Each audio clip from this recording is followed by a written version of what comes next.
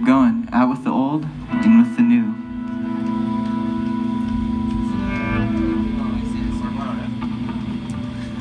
Yeah.